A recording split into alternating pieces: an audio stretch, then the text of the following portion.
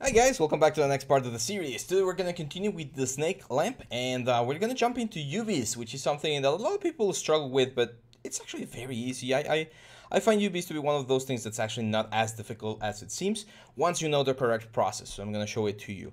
Now, as you can see here, I did went over the whole thing and I added a little bit more detail to some areas, not everything, because you can see, for instance, this thing right here, the little valves, they don't really need much detail. They're they're very good as, as they are. But the handles on the snake, this thing over here, there's a couple of scratches, a little bit of trim dynamic here and there. I didn't want to go super heavy on the uh, on the detail, except for the for the snake up here. This is when you can see I even added like some sort of like bite marks there. Um, and, and, that's fine. Like having something like this is completely fine because even if we want to add a little bit more detail later on, we can use the textures to do so. So um, this one, one thing I am going to do is I'm going to control D a couple of times. And then since this is the shape that I actually want, but it's a little bit too heavy, I'm just going to go all the way down here to geometry, ZRemesher, and I'm going to ZRemesh it.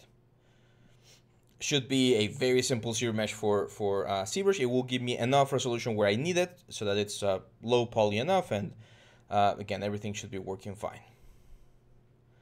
So let's just give it a couple of seconds here. There we go. So now if we take a look, look at that. That's uh, it's a little bit heavy, but it's not super heavy. It's only five, uh, six thousand points. Um, and we can even go lower. Like I can go here and say uh, half, and just ZRemesh, and I can do another half, and it will keep the shape. You can see how we're going down and down and down, and we're not losing that much resolution. So uh, we'll leave it like that. Now here's the here's the thing. We need to export the high poly, especially for the objects that have things that are high poly. So I'm going to go into Maya and I'm going to start creating a little bit of an organization over here. What do I mean by this? Well, um, the things that do not have any high polys, which is this bulb, this cap, this bulb, this bulb, and I think it's um, this guy right here, like all of those elements do not have high polys. I'm going to control G I'm gonna shift P this group so that it's in a different group. And I'm gonna call this group snake lamp low.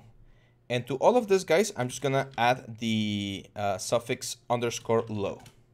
We're gonna do this because we wanna do something interesting with the um, on the on the texture side of things once we hit the textures. So we're gonna say that. Okay. Now over here, there are other things that do have a low poly. So for instance, this one, the handle, right? Handle is perfectly fine right now, so I'm just gonna go all the way here. I'm gonna export this, and I'm gonna export this uh, into our data folder. Here, assets, snake lamp. I'm just gonna lamp handle. That's perfectly fine. Go back into Maya. We're gonna delete this one. We don't need it anymore. Serve file, import, and again from our assets folder, snake lamp, we have the lamp handle. There we go. So first first piece already. Let's go for a second one. In this case, this is going to be the little um, the little snake that we have here. Now, I don't want to export the low subdivision level because as you can see, it's really, really, really low. So I'm going to go a couple of subdivisions level up. Probably something like this, I think, is, is fine. Um, and one thing we can actually do to ha have a little bit of a better resolution is we could we could ZRemesh this as well. And the only problem with ZRemeshing is that it might give us a little bit more resolution that we actually want. So let me see. I think I think we can get away with this one right here. No, no, let's do it the proper way. We said we were going to do this the proper way, so even if it takes a little bit more geometry, let's do it. So what I'm going to do here is I'm going to say uh, geometry, and I'm going to, well, first I'm going to go subtool. I'm going to duplicate this guy so I have a copy, and then the one on top, I'm just going to say geometry, ZRemesh. And let's wait for the ZRemesher. The reason why I'm doing this is because I want to clean geometry, right? And yes, this will bring the poly count way up, but again, I think I think it's worth it for an asset such as this that's gonna go into like a cinematic uh, pipeline. So there you go. That's not bad. I am gonna try and see if we can make this uh, go a little bit lower. So let's try half. So that's a little bit better. Let's see the difference. That's 10,000 points. That's a little bit too heavy. Half is is better. Now I just want to make sure that there's no spirals. There doesn't seem to be any. So yeah, that, that I think that that one's gonna work. So I'm gonna export this as well. Export a small snake, that's perfectly fine. And we need to export the other one as well, the high poly, but in such a way that we can conserve as much detail as possible. So I'm gonna clone this over here. I'm gonna say ZPlugin, Decimation Master, and let's bring it all the way down to like 35k. I don't think we need anything more because the surface is very, uh, very flat. I have an itchy ear now. So we're using Decimation Master to bring this thing all the way down to a very low uh, poly, uh, poly count. Now here, we don't need this guy anymore, so let's delete it. Now this lamp handle that we just got in here, I am gonna bring it into the small group uh, low uh, groups right here, so P. And I'm gonna rename it lamp handle underscore low. Whoop. There we go. I'm gonna say file, import, and let's import the um, the snake. So, well, we need to wait for the decimation master to to happen.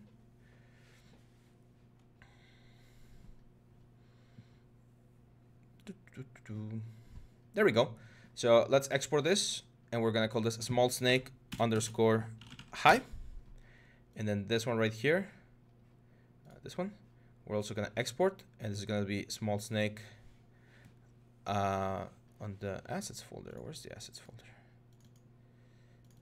Here. Small snake, oh, underscore low. I think this one got exported somewhere somewhere else. So again, export. Yeah, I'm not sure why it's, it's sending it there. Whatever. Uh, here? Nope. Here we go. Snake lamp, small snake. This is gonna be small snake high. We go back to Maya. We import this small, uh, small snake low first. There we go. So this one goes to this group. And now we're gonna create a new group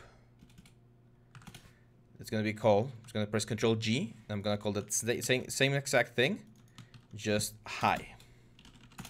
And here's where we're going to have the high polys. So here on the high polys, I'm going to say File, Import. Let's import the small snake high. And here's the most important thing of everything. We need to make sure that the name of the object here matches perfectly and only changes on the suffix, see? So capital S, capital S, capital S, capital S, underscore low, underscore high, because we're gonna do a function in, in Substance that will match the things that we uh, that we need into their respective place. So we're gonna do the same thing for all of the pieces here. And one way in which we can actually like uh, accelerate this process a little bit will be to combine. Now this one, for instance, I'm gonna go all the way low uh, to the lowest subdivision, probably one level higher, like something like this. Um, yeah, that's fine. And we're gonna export this. That's lamp top underscore low. Let's go here.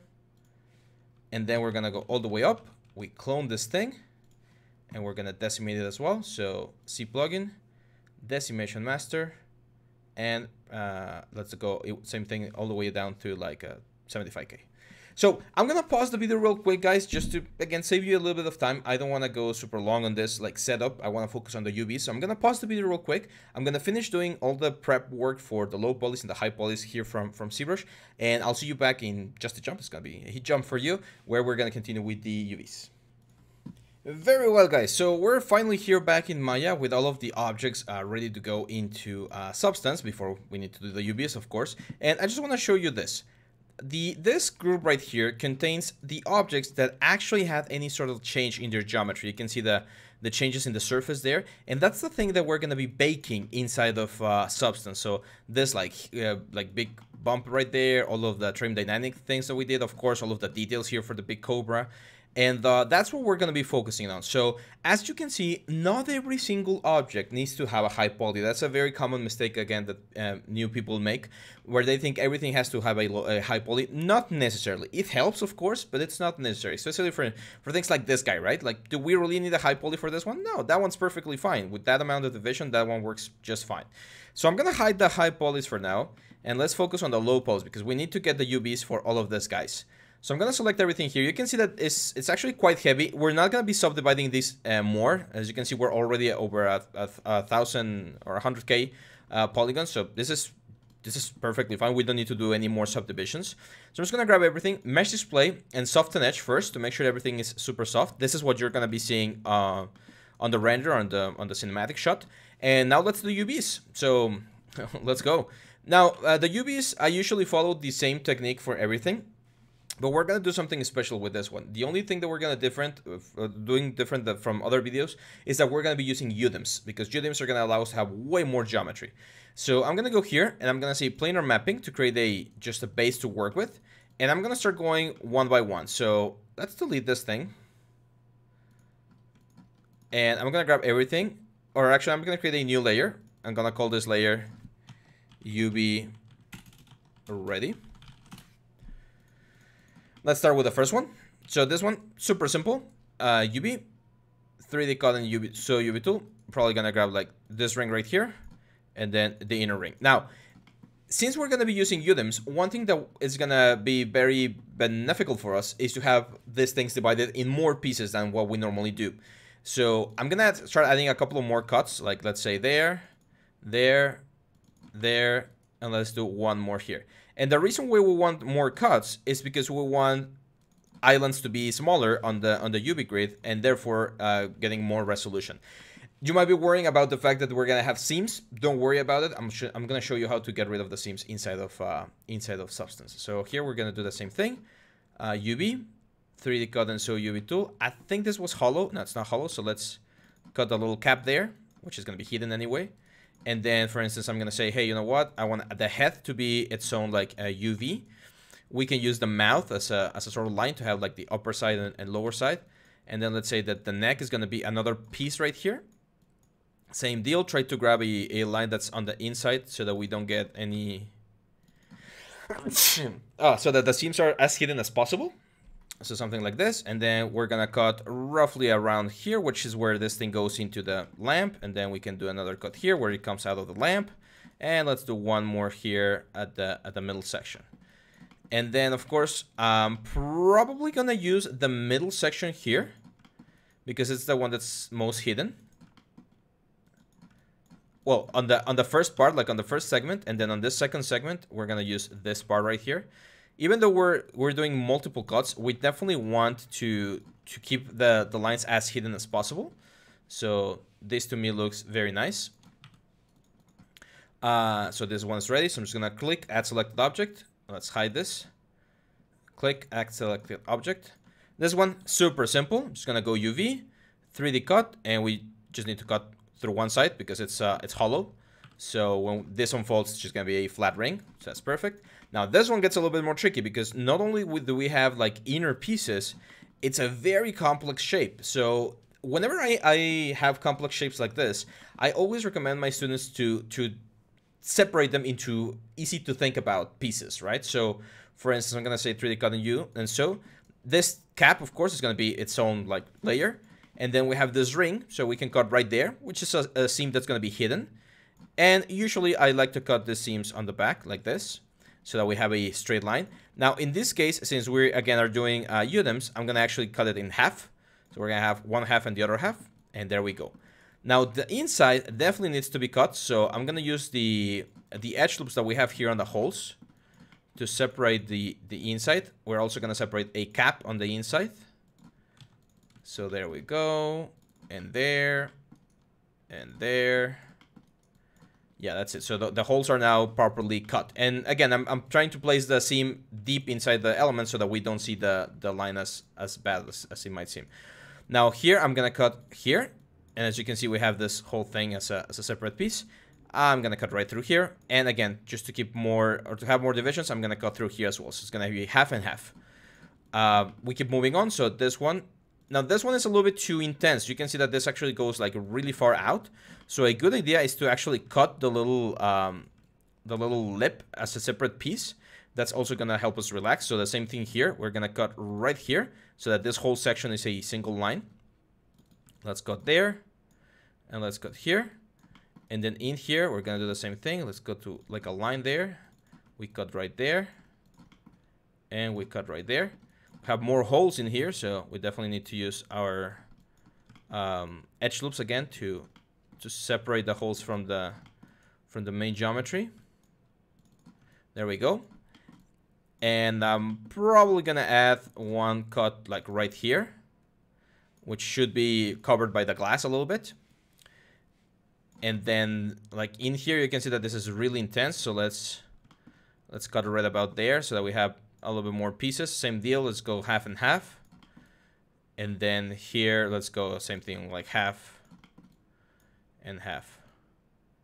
That should be working fine. So I think this is gonna unfold nicely. Let's give it a shot. I mean, we, we're not doing any unfold just yet, but we can we can try with this one and, and see if my formula is working properly, which it should. I remember back in the day, I'm talking about like five or six years ago, performance was really, really important because uh, computers and, and systems were not as strong as what we have today. And uh, and then and people were like super, super intense about having everything be super optimized on the on the UV side of things, which is always a good thing. But nowadays, things are so powerful that we really don't need to. So as you can see, a lot of the parts are, are nicely unfolding. We're getting this very nice uh, distribution, but we have a couple of them that are not. Now, this is very easy to fix because since we already have the general island, we can just go here and, and, and say edge, like select that edge, select that edge and say cut. And for instance here, I'm just gonna select that edge and say uh, cut. And for instance, this one, I think I definitely wanna cut it in half as well. I'm not too worried about the seams because as I mentioned, there are ways to um, hide them. So cut and over here, cut. Now we grab everything again and we hit unfold and you can see all of the islands are nicely unfolding. So this is gonna work perfectly fine. Whoop. Let's close this. Perfect. So that guy is ready. Let's go here and there we go. Uh, the little snake, probably the easiest one of them all. I am just gonna cut the head. Like right about here, I would say. One line through uh, the middle. Uh, probably, again, as hidden as possible. So something like this. That's perfectly fine. And then this big thing right here, I'm just gonna do a cut through the middle uh, section. And add a couple of lines here. With very long things like this snake, you definitely want to add a couple of cuts uh, throughout the, the length of the element. Otherwise, the UDIM technique is not gonna work as, as, as nicely. The glass uh, is just two, two sides to the same like cylinder, so I'm just gonna say UV, 3D cut, we cut uh, this border here, lower border, and uh, I'm gonna do halves as well. So half there, half there, half on the front, half on the front. And there we go. So right click, select the objects, there we go. Just a couple of more, now this is probably the another like tricky one. Not that tricky, but just keep in mind that might take a little while. So I'm just gonna go um, UV, 3D cut. This is gonna be a cap. Of course, this is gonna be a cap as well. Did we get it? Yeah, we got it. And then we're definitely gonna have like one line there. Uh, let's add one line there to relax it as well. Uh, probably one line here on top. There we go. So now we're just gonna go to the back here cut right here, cut right here. I'll probably go to the front as well. Again, this is to, to get smaller islands and this is going to be easier to cut. Now here, very carefully, I'm to again select the, the inner side of the, of the holes. Like that.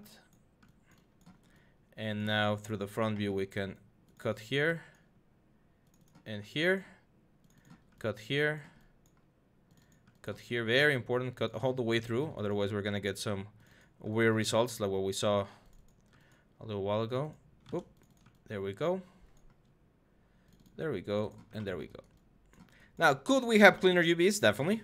As with everything that I've mentioned uh, so far the more time you invest into something the the better everything is gonna look so yeah. This one super easy.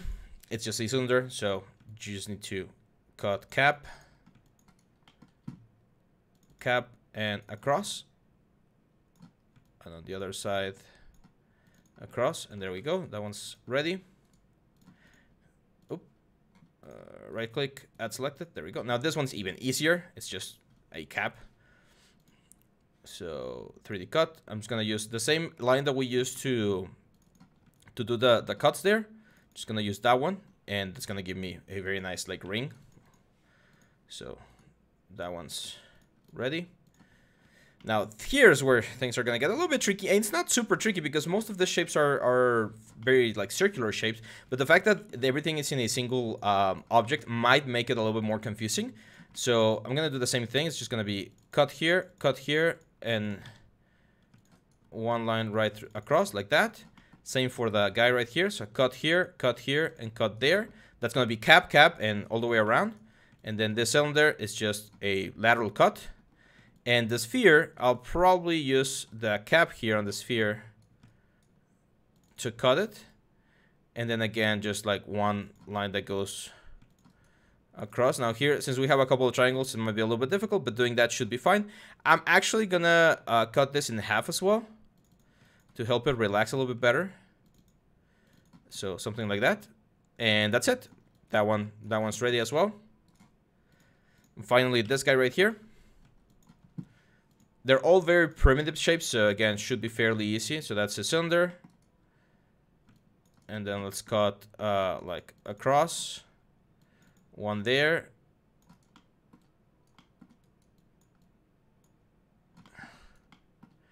And then let's do the inner line there. There we go. This box right here, just one line across, that should be fine. Same for this one, just across, and it's going to be two flat surfaces. This spheres, just across. Like, we're to have the half and half of each sphere. And finally, this piece right here is just a cap. Or actually two of them, so this it's this cap. And then across. And then it's uh, this cap.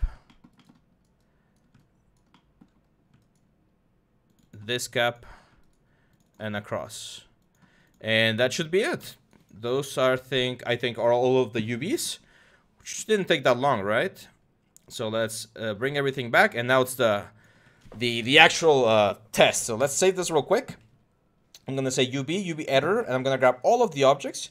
I'm gonna try to do an unfold to all of them. Should work. I mean, it's not there's I don't see any reason why this wouldn't work. It's going to take a little while because, of course, it's a lot of faces, but you can see everything unfolded nicely.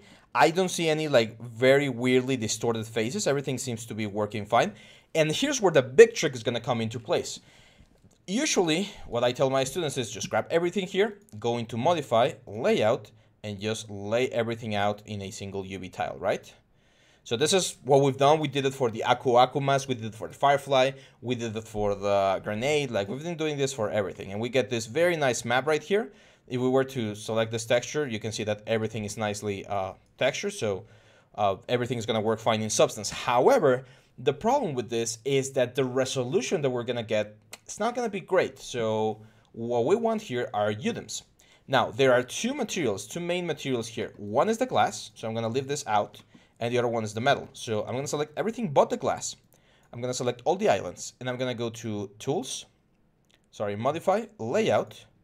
I'm going to change this to horizontal. I think it's going to look nicer. And I'm going to go down here where it says tiles U and tiles V.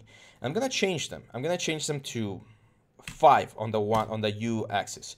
So what this is going to do now is it's going to distribute all of my islands in such a way that they occupy five tiles inside of our UV uh, element, okay? So instead of packing everything into a single texture, we're gonna have five textures. Now, beware, this is heavy. You're gonna have way more textures, you're gonna have way a, bigger render time, but it's gonna look amazing. So five is, is way, it's actually I think a little bit of an overkill, but I, I want this thing to look really, really, really nice. So we're gonna go for five uh, islands. So you can see this thing is, is packing the UVs, trying to find out how how best it can do it. And look at this beautiful thing. Great, right? So if we take a look at the resolution now, see how smaller the, the squares became. This is going to give us a very nice resolution. We're going to be able to have a zoom all the way to like something like this. And textures are going to still look very, very cool. So the only thing that worries me a little bit is the fact that some of the things don't look to be to be the same size. Like, see how these guys are very big and then other things are a little bit smaller? So let's try to fix that. Easiest way to fix it is to freeze the transformations. And I'm gonna grab everything again, except for this guy. And I'm gonna say uh, modify layout, and I want to preserve the 3D ratios. Uh, let's give it another go. There's another way to do it, because sometimes when you have multiple objects, it, it, it freaks out a little bit and it doesn't do it properly. Uh, hopefully this time it will work. Uh, the other thing is we can combine them, do it with the mesh combine, and then um, uncombine it, but it's just a little bit more time consuming because we have to rename everything. Let's see if we can get this to work.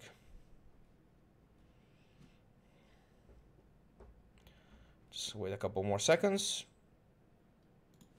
No, it did not. Uh, it's a little bit unfortunate. I mean, it is trying to occupy the best possible space, but the problem here is that uh, some things are going to be super, super high definition and other things are going to be a little bit low definition. I'm going to leave it like this just for now um, because, I mean, having more definition is not a bad thing. I'm a little bit worried about these things that are not as high definition, but I don't think we're going to have an issue. So we're going to leave it like this. And, and for this one, uh, I think one map for the whole glass is good, but maybe we can do like two. I'm just going to do it manually here. And I'm to try to get each one of this into a, a an element. Now, the one on the inside, which is this ones, we can actually make them a little bit smaller because they're, again, on the inside, so we're not to see them as much. Let's do something like this. It might seem like we're, we're um, losing a lot of space or we're not uh, making the best use of the space, but UDIMs tend to do that, especially with a lot of organic shapes. You're to see the UDIMs for a character, for instance, where there's only like half a hand in one map and there's a lot of wasted space. Because since this is going to be done on render time, we really don't care about um, about that kind of thing, like the performance. If this was for engines, of course, then this wouldn't fly. And uh, there we go. So I'm going to assign a new material to this guy. It's going to be just a basic Lambert. I'm going to call it, let's do history. I'm going to call it M underscore uh, glass and then I'm gonna select everything else and I'm gonna call this I'm gonna assign a new shader as well. And this is gonna be called m underscore metal. And there we go. Now we're ready to to export this thing out. So the way we're gonna export is very important. We're gonna select everything here the group and everything inside of the group all of this guys which as you remember already have the UVs properly laid out into UDIM form. And we're gonna say file export selection, and it's very important that we export this as FBX, and I'm gonna call this snake lamp, just like that, because this is the, the clean version. And then I'm gonna do the same for the high polys. I'm just gonna say file, export selection, and we're gonna export, sorry, we're gonna export this as uh, snake lamp underscore high. Very important that you do this in FBX, otherwise things might not work. So let me uh, go back here to ZBrush and save this real quick. And let's close it. And let's open Substance Painter. Adobe Substance Painter now. So I'm just to do the bakes in this video, guys. We're just to do the, the quick bakes. It's something very, very simple. And then on the next video, we're to be doing the um, the texture. So that, again, we try to uh, remain on the, on the 30 minute mark.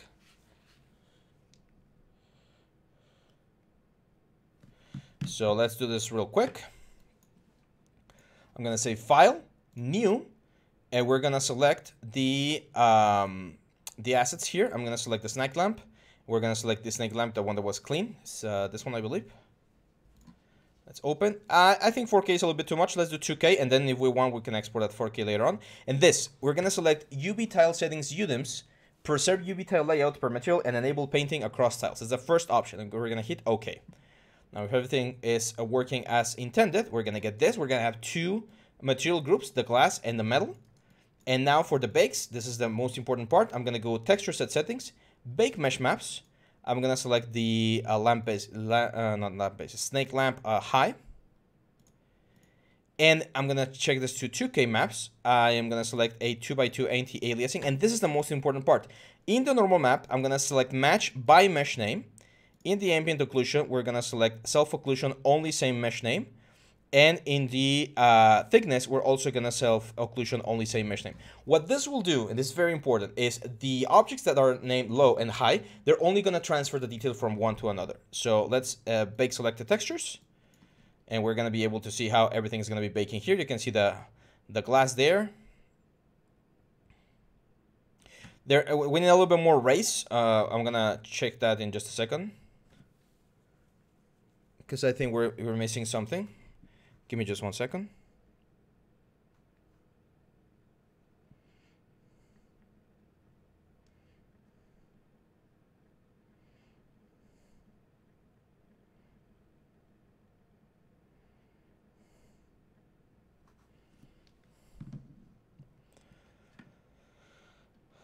Of course, the 2x2 subsampling will make it a little bit uh, harder to work with, or not harder, uh, longer to work with, but everything is seems to be working nice for me here. Uh, you can see the metal, look at that. All of the details on the things that have details are being baked, which is exactly what we want and things seem to be working nicely. Now, I do think I need to increase something, uh, a couple of things uh, in, in just a second, but I'm going to leave them like this just now. I'm going to stop the video, guys, because I really need to go. Something just came out, uh, but we'll be back for the next video where we will be doing textures, and then we'll just have one more video where we will, doing, we will be doing a rendering. So hang on tight, and I'll see you back on the next one. Bye-bye.